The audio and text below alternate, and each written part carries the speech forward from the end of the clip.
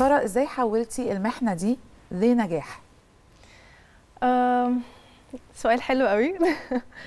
آه، الحقيقة يعني كل dyslexic بيبقى عنده صعوبات آه، معينة ومختلفة عن أي dyslexic تاني.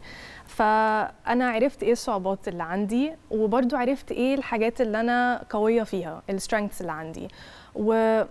وحاولت إن أنا أركز أكتر في ال strengths واستخدمها عشان أحسن الصعوبات. يعني. مش عارفة لو حاولتي تستخدمي ال- الحاجة اللي انت قوية فيها؟ بالظبط. إن انت آه، تساعدي نفسك بيها إن انت تعدي منها بالصعوبات بتاعتك. بالظبط.